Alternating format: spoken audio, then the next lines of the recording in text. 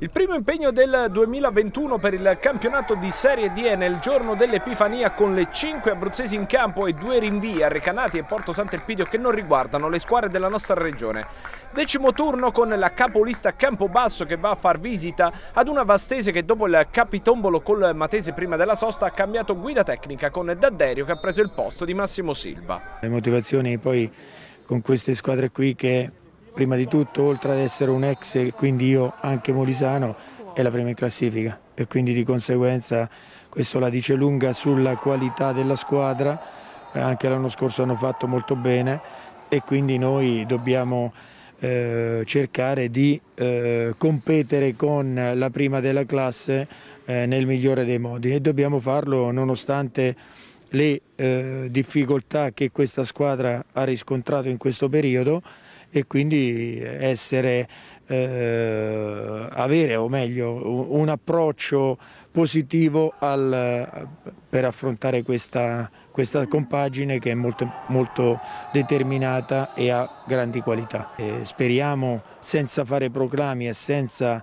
dare false illusioni certamente eh, di dire di impegnarci e di avere quel eh, senso eh, della maglia che deve essere, secondo me, in questo periodo soprattutto eh, sentito e riscoperto da tutti quanti noi.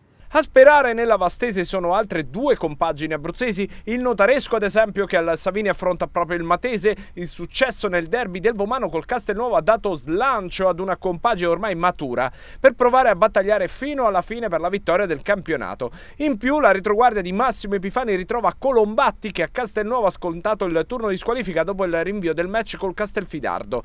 I campani benché vittoriosi con la Vastese non sono compagini impossibili, tutt'altro e finora in casa il Notaresco ha sempre fatto risultato col solo neo del pareggio a reti bianche contro i Rieti. Ma non solo i rossoblu tiferanno Vastese, perché c'è proprio il Castelnuovo di Guido Di Fabio a sperare nell'uno in schedina. I neroverdi però hanno un impegno difficile contro la Cinzia Albalonga in quello che sulla carta è un vero e proprio scontro diretto in chiave playoff.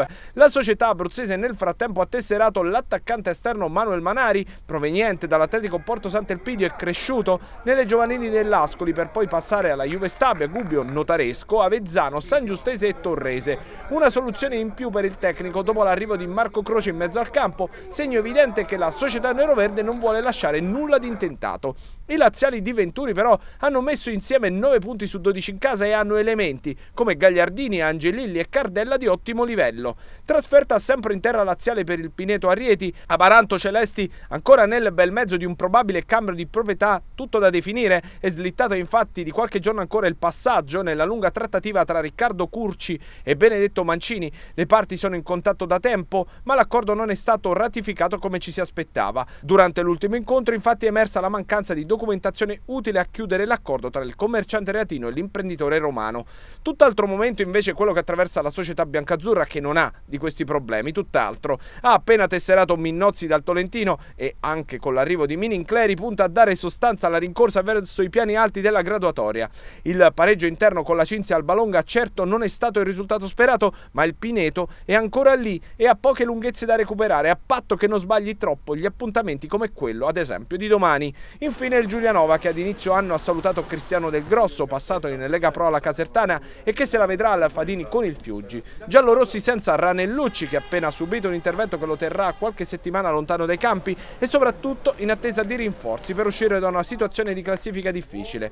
Quattro sconfitte su quattro nello stadio amico sono una ferita enorme e anche la piazza inizia a dare segnali di insofferenza. Federico Del Grosso attende qualche acquisto ma dovrà attendere il match di domenica. Nel frattempo dovrà fare di necessità virtù e provare a strappare un successo che possa rilanciare le quotazioni salvezza dei giallorossi.